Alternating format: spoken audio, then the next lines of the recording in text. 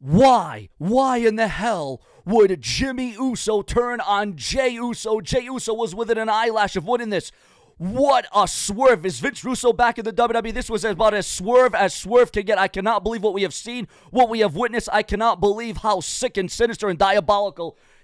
I cannot believe it's okay. It's all right. I, I, I am just shocked. I am in utter distraught.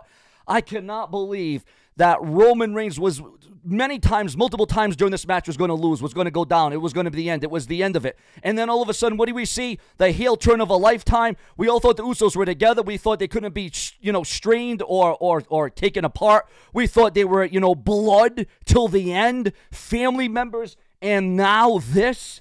What a codical, what just controversy, absolute controversy. I'm lost for words. I don't know what to say. I don't know what to think. I can't believe what we have just witnessed at SummerSlam. This is just a very sick and diabolical plot.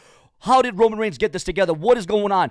You want to talk about, you know, multiple angles, multiple controversies, multiple conflicts within this storyline. I cannot believe what we have just seen. Ladies and gentlemen, your thoughts, your comments, and your opinions on this evil, sinister plot. Roman Reigns always has a plan, always has backup, and then it looks like Solo's going to turn on Roman Reigns. You just don't know which way the WWE is going to sway us, what direction the WWE is going to go in. This is as, as uncanny as I've ever seen. Roman Reigns walks out of SummerSlam still the champion due to the the the just sinister.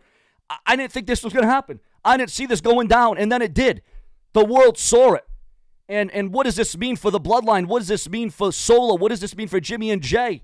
I mean, this is the last. Thing. How does Solo feel about this? Was was was Jimmy Uso on it all along? Was he in on this whole plan all along to uh, you know just make his brother think, oh yeah, this is what's going to happen. This is how it's going to go down. You know, uh, guys, I, I am just I am appalled. I am shocked. I am stunned. More to come from Seanz View Entertainment on a hellacious night in the Motor City at SummerSlam. Subscribe.